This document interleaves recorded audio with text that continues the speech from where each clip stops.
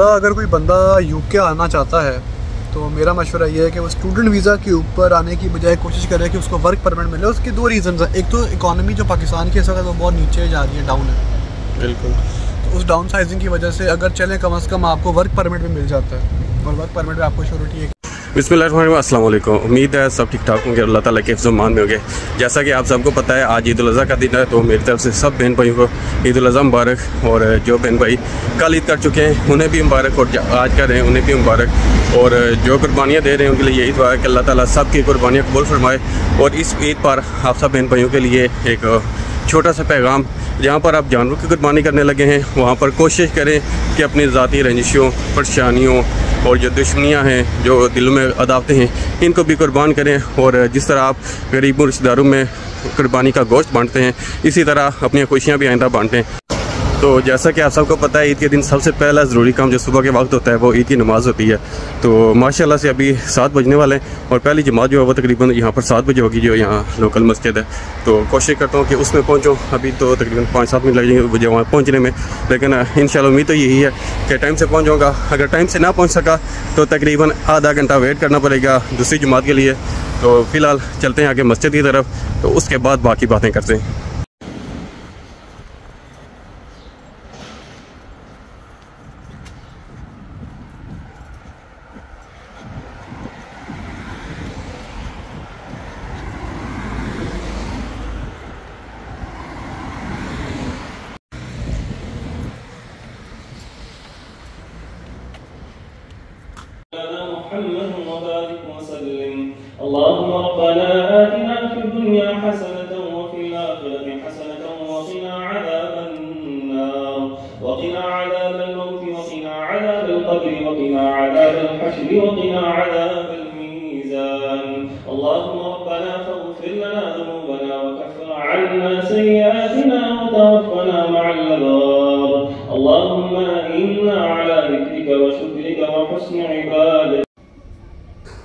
माशाल्लाह ईद की नमाज़ पढ़ने के बाद अब चला हूँ मैं यूनिवर्सिटी की तरफ़, क्योंकि यूनिवर्सिटी में छुट्टी नहीं है, यूनिवर्सिटी जाना ही पड़ेगा तो अभी बस टाउन की तरफ़ और टाउन से फिर आगे देखते हैं, अगर बस हुई तो बस में, वरना ट्रेन में चलना पड़ेगा।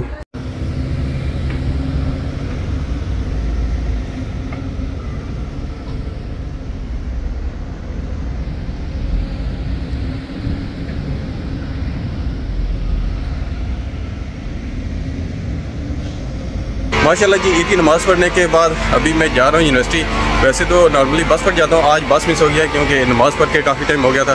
तो बस कैच नहीं कर सका। अभी जाना ट्रेन स्टेशन की तरफ़ तो वहाँ से जाऊँगा आगे यूनिवर्सिटी की तरफ़। तो इस वक्त मेरे साथ मौजूद है नबील भाई। असलम जी वालेकुम सलाम। नीम भाई क्या हाल है? ठीक है आप? अलहमदिल्ला ठीक ठाक। आप सुनो कैसे हो? जी अलहमदिल्ला ठीक ठाक। तो माशाल्लाह सबसे पहले तो आपको ईद मुबारक और दूसरा ये बताएँ कि ईद कैसी गुजरी है? आपको भी हैर मुबारक और आपके तमाम देखने वालों को मेरी तरफ़ से ईद मुबारक। तो ईद जनाब हमारे तो कल थी आपकी आज है तो ईद अलहमदिल्ला बहुत अच्छी गुजरी है फैमिली के साथ घर में। अच्छा। तो बाकी इधर वो वाली ईद नहीं है जैसे पाकिस्तान में होती है ईद के सारी फैमिलीज़ इकट्ठी होती हैं और उस तरह ईद सेलिब्रेट करती हैं, कुर्बानी होती है। इधर ना तो कुर्बानी होती है, ना सारी फैमिली इकट्ठी हो सकती है।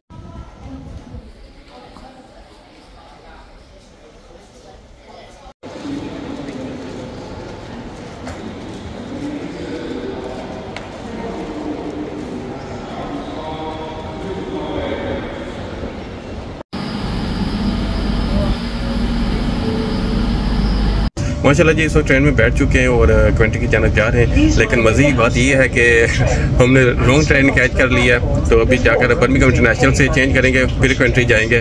तो अभी तकरीबन नौ हो रहे हैं। तो नौ के बाद आगे क्लास तो नौ बजे शुरू होगी। अब हम लेट ही पहुँचेंगे तो देखते हैं वहाँ क्या करना है टेनिस का क्या सीन होगा।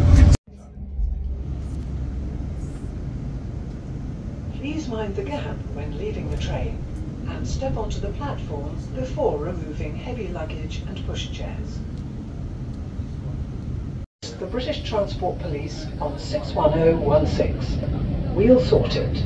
See it, say it, sorted.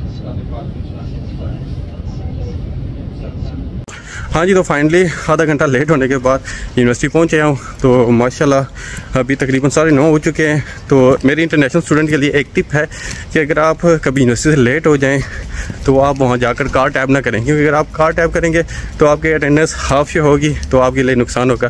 तो इससे बेहतर है कि आप अपने टीचर को बता दें कि मैं लेट हूँ तो आप मेरी मैनुअल अटेंडेंस लगा दें तो आपके हंड्रेड परसेंट ही रहेगी। तो ये टिप अपने माइंड में लाजमी रखें। अगर कभी मेरी तरह लेट हो जाएँ तो कार टैप ना कीजिएगा। So this is direct material for this project or for this item. And it takes 20, uh, 250 direct labor hour. तो जैसा कि आपको बताया था कि यूनिवर्सिटी में एक तो क्लासेस लेनी है और उसके बाद घर चलना है क्योंकि आज ईद का दिन है तो इस वक्त मेरे साथ मौजूद है हमजा भाई जो ये भी सुबह लेट ही आए थे। अस्सलाम वालेकुम सर। वालेकुम अस्सलाम अलीम भाई क्या हाल है? आप ठीक है? खैरियत से? सबसे पहले तो आपको ईद मुबारक। खैर मुबारक आपको भी बहुत बहुत ईद मुबारक। या आप ये बताएँ कि आप आज मना रहे हैं या कल नहीं थे आपने? हम आज मनाएँगे ईद इंशाल्लाह। अच्छा तो तो मनाएँगे कि हम मना रहे हैं। मना रहे हैं सुबह से सुबह से ईद शुरू हो चुकी हुई है। हम्म, नमाज़ पढ़ चुके हैं। माशाल्लाह। कपड़े चेंज किए थे फिर यूनिवर्सिटी आ गए थे। तो तो- अभी ये बताएँ क्या सीन है आज? परदेश में ईद कैसी गुजर रही है? प्रदेश में ईद अच्छी गुजर रही है क्योंकि ईद अपनों के साथ होती है हम्म। और अपने घर वाले ही होते हैं। फैमिली दोस्त यार कज़न वगैरह सारे जिनके आप क्लोज होते हैं वो आपके अपने होते हैं। तो ये होता है कि ये कुर्बानी की ईद होती है तो कुर्बानी पाकिस्तान में भी घर वालों ने की है तो हम भी कुर्बानी दे रहे हैं हम्म। यहाँ पे हाँ। अपने फ्यूचर के लिए। अपने फ्यूचर के लिए बिल्कुल। तो आप भी हमारे साथ इस सारे खैर में शामिल हाल है। हाँ बिल्कुल। तो मजीद अगर मिशन एक ही है बाकी अल्लाह है अच्छा अब बताइए पाकिस्तानी कौम के लिए और जो स्पेशल इंटरनेशनल स्टूडेंट के लिए कोई पैगाम देना चाह रहे हैं? यार देखो प्रैक्टिकली स्पीकिंग यहाँ पे इंटरनेशनल स्टूडेंट की लाइफ कैसी है वो मैं तो जानता ही हूँ आप मुझसे बेहतर जानते हैं। हम्म, ठीक है?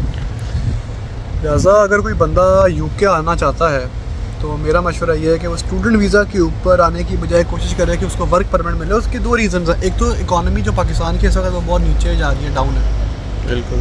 तो उस डाउन साइजिंग की वजह से अगर चलें कम अज़ कम आपको वर्क परमिट भी मिल जाता है। और वर्क परमिट में आपको श्योरिटी है कि आपको तीन साल का काम और पाँच साल का काम मिलेगा या पाँच साल का वर्क परमिट भी मिल जाता है। तो कम अज़ कम आपके पास पाँच साल यहाँ पे रहने का एक जवाब तो बन जाता है।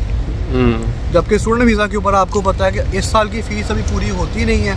अगला साल और अगला साल आ जाता है। और फिर पेपर्स की टेंशन और फुल टाइम काम नहीं कर सकते और ख़र्चे भी उतने ज़्यादा रेंट ट्रैवलिंग यूनिवर्सिटी की वजह से खर्च अखराज बढ़ जाते हैं क्योंकि आपको ट्रैवलिंग करनी पड़ती है। जबकि अगर आप बर्मिंगम में मिसाल अगर हम रहते हैं तो हमारे उस शहर के अंदर जैसे कि अब कमेंट्री ना आना पड़े तो सिर्फ़ बर्मिंगम के अंदर ही या उसी एरिया में उसके नियर बाय जो बोरोज हैं या जो टाउन्स हैं वहाँ पे अगर आप जॉब तलाश करें आपको जॉब मिल जाए तो एक बस पास होता है जो फोर्टी पाउंड पर मंथ बन जाता है। तो उसमें आप ट्रैवलिंग भी कर सकते हैं काम भी कर सकते हैं और ज़्यादा सेव कर सकते हैं। और। पाँच साल अगर आप इस तरह अपनी ज़िंदगी गुजार लें तो एटलीस्ट जो लगा कर आते हैं वो कमा कर उतना ही कम अज़ कम सेव कर सकते हैं अपने अखराज उठाने के बाद। बहरहाल ये मेरा एक मशवरा है क्योंकि मशवरा एक अमानत होती है। तो मशवरा ठीक दे रहा हूँ। बाकी बाकी लोग खुद खुद भी समझदार हैं यार। अब लोगों को खुद भी पता है कि एक्सचेंज रेट कहाँ पहुँच चुका हुआ है। अब कुछ लोग ये बोलेंगे जी ये कुछ स्टूडेंट वीज़ा पे वहाँ पे मौजूद हैं तो हमने हमें नहीं चाहते कि हम पढ़ें। हाँ। तो भाई जिसको इतना शौक है पढ़ने का वो लाजमी पढ़ने आए। फिर वो पढ़ने आएगा तो वो खुद ही उसको लगेगा पता कि पढ़ाई कितनी की आसान है यहाँ पे और क्या लाइफ का स्टैंडर्ड होता है यहाँ पे पढ़ाई के साथ। आपकी अपनी चॉइस होती है। पर्सनल चॉइस है किसी की हम किसी को फोर्स नहीं कर रहे। एक बस मशवरा है एक आइडिया है जो कि हमारे जहन में पढ़ाई के साथ आता है कि यार ठीक है स्टडी बहुत मैटर करती है लेकिन अगर आपका ये बेसिकली डिपेंड करता है कि आपका गोल क्या है कि आप बाहर आना चाहते हैं सिर्फ़ पैसा कमाने के लिए या पढ़ने के लिए। अगर आप पढ़ने के लिए आते हैं तो पढ़ें साथ पैसा कमाएँ तो वो भी बात ठीक है। लेकिन अगर आप सिर्फ़ पैसा कमाने आते हैं तो फिर पढ़ने का कोई फ़ायदा नहीं है। फिर वर्क परमिट पर आए बहुत ज़्यादा बेटर है परमिट तो रहे वो ज़्यादा बेहतर है। चलें जी अब चलते हैं वापस बर्मिंघम की जानब तो